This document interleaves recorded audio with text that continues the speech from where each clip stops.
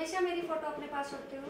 मेरे जीवन में जब भी कोई समस्या आती है तो मैं तुम्हारी फ़ोटो को थोड़ी देर देखता हूँ जिससे मेरी सारी समस्या खत्म हो जाती है। सच्ची? क्या मैं तुम्हारे लिए इतनी नसीब वाली हूँ?